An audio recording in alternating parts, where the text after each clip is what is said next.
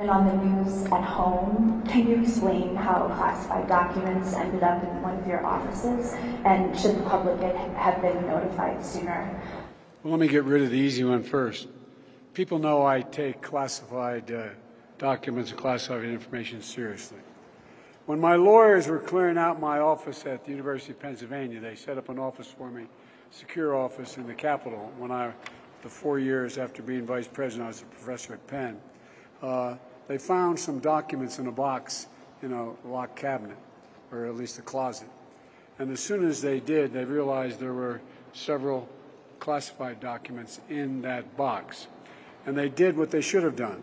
They immediately called the archives, immediately called the archives, turned them over to the archives, and I was briefed about this discovery and surprised to learn that there were any government records that were taken there to that office but I don't know what's in the documents. I've, my lawyers have not suggested I ask what documents they were.